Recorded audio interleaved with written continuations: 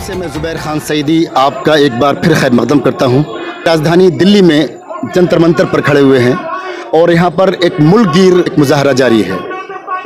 कानून के रखवाले कानून के साथ खिलवाड़ करने लगे। बेकसूर निहत्ते लोगों को मिटाने के लिए उनके ऊपर जानलेवा हमला करें तो लोगों को निकलना पड़ता है।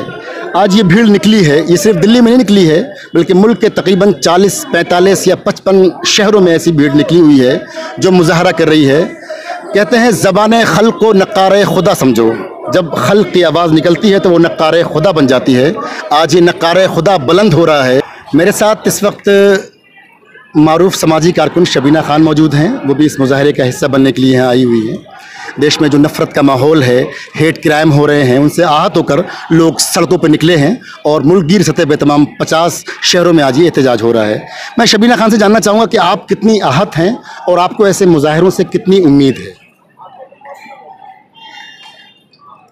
यहाँ पर हर बार लाशों के ढेर उठाए जाते हैं। मॉब लिंचिंग के नाम पर। समझ में नहीं आता कब रुकेगा, कब थमेगा ये सिलसिला।